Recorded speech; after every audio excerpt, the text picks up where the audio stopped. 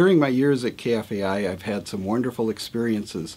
Among the most exciting was the chance to work at all three transmitter locations that KFAI has had over the years. It is a, a, really amazing thing to stand on the roof of the IDS Center and look over the Twin Cities and see with my own eyes where KFAI's signal is reaching people. Remember, on November 13th, give to the max.